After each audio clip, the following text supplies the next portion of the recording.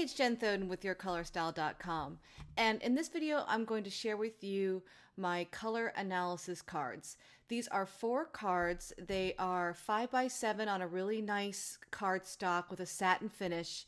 And each card represents one of the main color types of the Your Color Style system. So bright and warm, bright and cool, soft and warm, and soft and cool.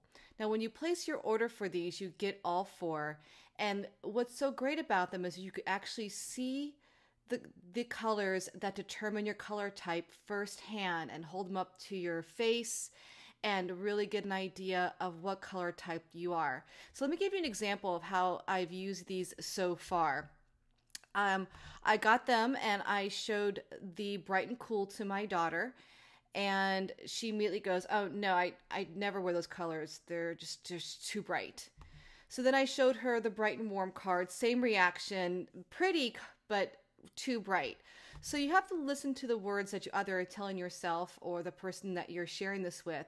What are the words that, that they're being that are being used? In this case, the colors are too bright. So right away we can conclude that she is soft. Now I already know that she is soft and warm. So it's really interesting that she immediately had an aversion to these colors. Now, one thing you need to to know about these colors is that these colors on the bright and cool card are only colors that will look good on a bright and cool person.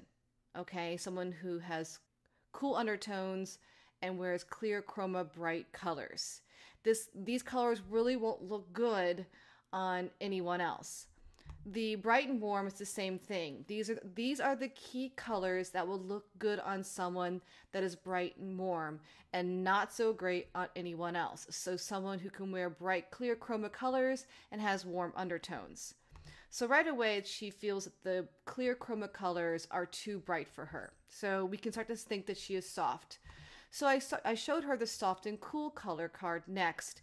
These are colors that have some gray added to them. They're softer and these are for cool undertones. Now, she actually didn't have an aversion to these. She actually said, Oh, well, I, I like these. I, I kind of like these pinks. And she kind of pointed to the bottom of the card. And then I showed her these, and she immediately nods yes. Oh, yeah, I love these these colors. Okay, these are the soft and warm colors, warm undertones, but soft, gray added, soft muted colors. So since she chose both of those, knowing now that she's soft, I gave her the ultimatum. Well, you have to pick one. You can't have both. So, which one would you choose or eliminate between the two soft cards? She immediately eliminated the cool and chose soft and warm.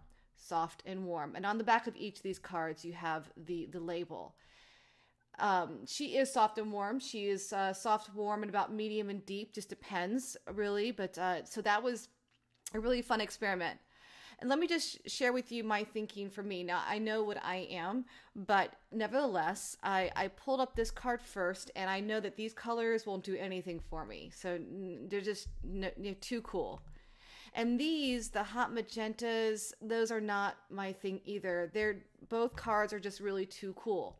If someone says those kind of words, you can start to conclude that um, that they have warm undertones. So for me, I, I, picked up this one next, and I, you know what, I like these colors. Um, I I might even wear some of these colors, but then when I look at the bright warm, I, that one does so much more for me. So if I have to pick between the two warm colors, it's not that the soft and warm look bad, but the bright and warm just look so much better. So for me, I am bright and warm.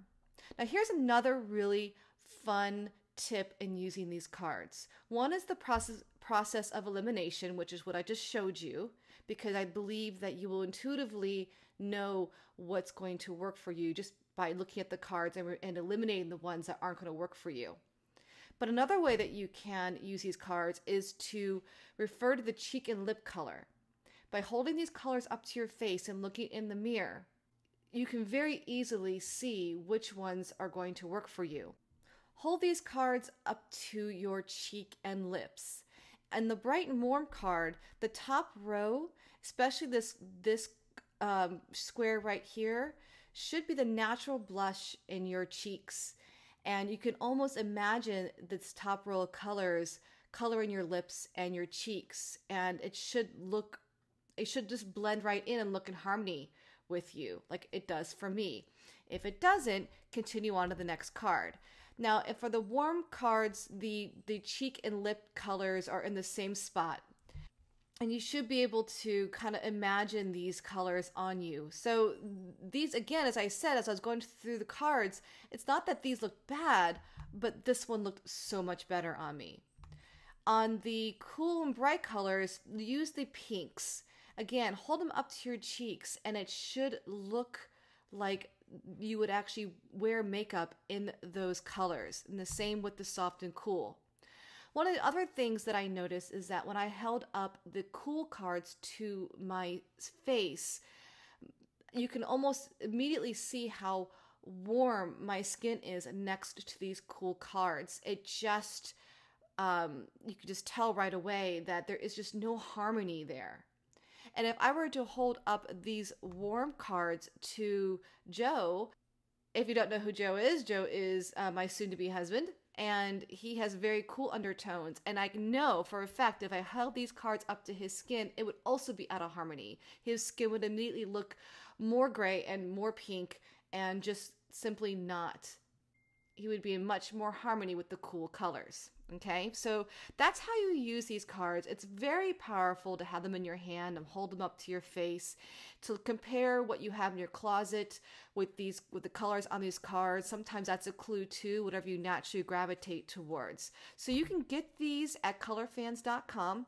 You get a set of four, one for each color type, and then you can play with those and finally figure out what color type you have. These cards are also included in the DIY self color analysis course. You get a coupon to apply to your order at colorfans.com, so they're shipped to you for free because it's part of the course. That course also includes access to your online color wheel tool where you can upload your photo and see your photo among six different color wheels, which is really fun as well and helps you figure out what your color type is. Both links are in the description below this video, so check that out and have fun with this.